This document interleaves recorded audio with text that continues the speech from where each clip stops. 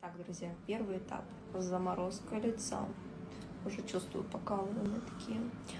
В общем, я хочу вам рассказать и показать без каких-либо приукрас об этой процедуре. Это больно будет.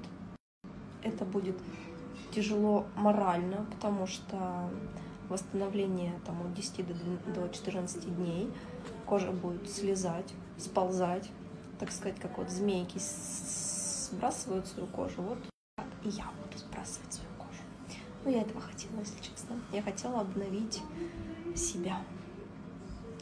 Я, я не то чтобы я решилась, я готовилась к этому вообще-то. Короче, я волнуюсь, простите. Все готово. Вот. Я вам показываю без фильтров, потому что тут даже фильтры не помогут теперь. Я тут лежу, прохлаждаюсь, потому что лицо жжет прям сильно. Но результат. Да, да, правда же, стоит же результат. Короче, знаете, я такая героиня, я такая говорю, да мне не больно, мне не больно, нормально, секунд пять. А потом просто слезы ручьем.